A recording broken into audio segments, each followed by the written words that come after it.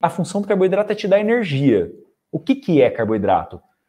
Massa, pão, farinha, é, macarrão, arroz, é, né? É, batata, mandioca, inhame, baroa, mandioquinha, aipim, macaxeira, milho, cuscuz. Isso é carboidrato.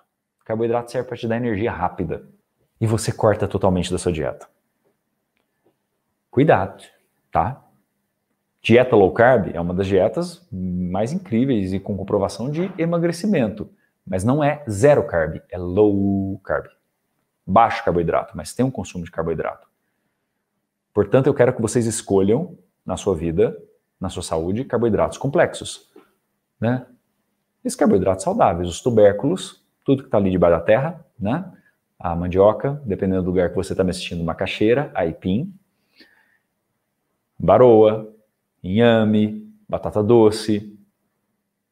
E nós temos, claro, os cereais, que são, né, por exemplo, aveia, é, é um carboidrato mais complexo.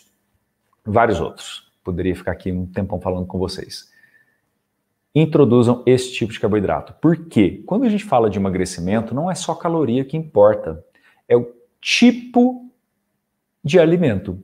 Se você consome carboidrato simples, que é farinha branca, arroz, macarrão, eles aumentam a insulina, causam um pico de insulina que pode propiciar né, você engordar mais rápido.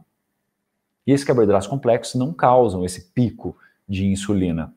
Só que os carboidratos, eles têm papel fundamental no nosso organismo, inclusive para a tireoide funcionar, ela precisa de carboidrato.